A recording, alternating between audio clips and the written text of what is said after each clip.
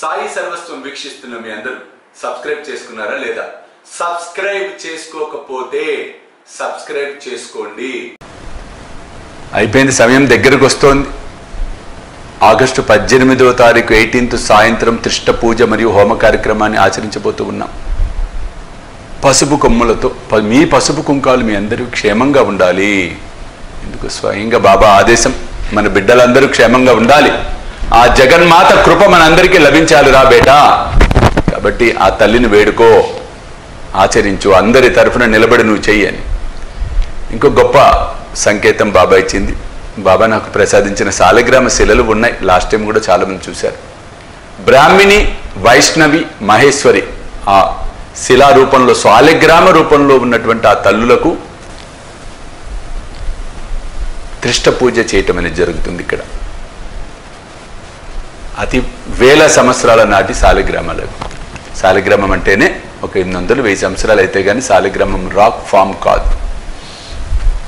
అది భగవంతుడు నాకు ప్రసాదించిన ఆ శాలగ్రామ శిలల రూపంలో ఉన్న ఆ తల్లులకు లక్ష్మీదేవికి పార్వతీదేవికి సరస్వతీదేవికి బ్రాహ్మిణి వైష్ణవి మహేశ్వరి. బ్రాహ్మిణి అంటే సరస్వతమ్మ. వైష్ణవి అంటే మహాలక్ష్మి. మహేశ్వరి అంటే పార్వతీదేవి. ఈ ముగ్గురికి కూడా ఆ రోజు నేను ఇక్కడ ఆచరించడం అనేది జరుగుతుంది. అలాగే హోమ క్రతువులో చక్కగా పసుపు కొమ్ములతో హోమాన్ని పసుపు కుంకుమలతో హోమం చేయబోతూ ఉన్నాం. వివాహం కాని వారికి శీఘ్రమే వివాహం అవ్వాలని వివాహం అయిన వారి మాంగళ్యాలు బలంగా ఉండాలని దాంపత్య జీవనంలో ఒడిదుడుకులు బాగా ఎక్కువ అవుతున్నాయి మధ్యకాలంలో because of this particular problems misunderstandings miscommunication అలజడి ఇన్స్టెబిలిటీ కాబట్టి అవన్నీ తొలగి దంపతులందరూ సుఖశాంతులతో వర్ధిల్లాలి అని సంకల్పంతో మీ కోరికలు శీఘ్రమే సిద్ధించాలన్న సంకల్పంతో మీరందరూ సుఖశాంతులతో వర్ధిల్లాలన్న సంకల్పంతో. ఈ సాయి సర్వస్వం అనే ఈ జగత్తే సాయి సర్వస్వం. ఈ కుటుంబం అంతా చల్లగా ఉండాలి.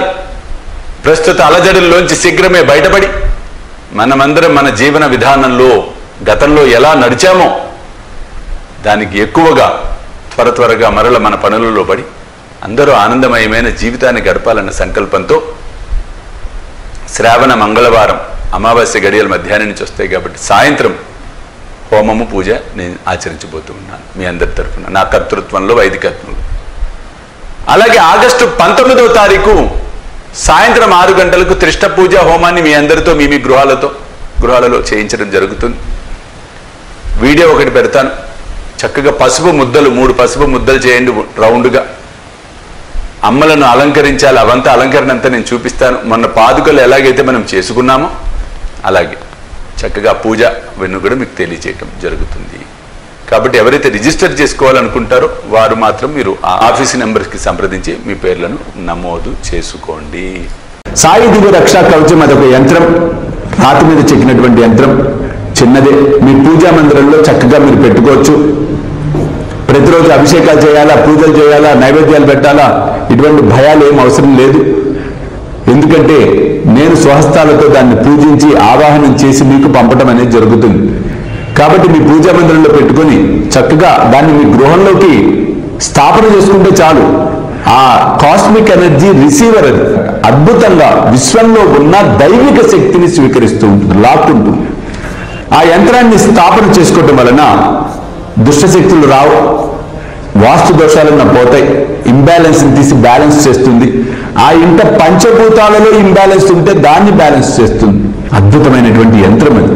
శీఘ్రమే తప్పకుండా ఫలితాలు రావటం ముమ్మాటికి సత్యం. అంతటి మహిమాన్వితమైనటువంటిది శ్రీ సాయి దివ్య రక్షా కవచము.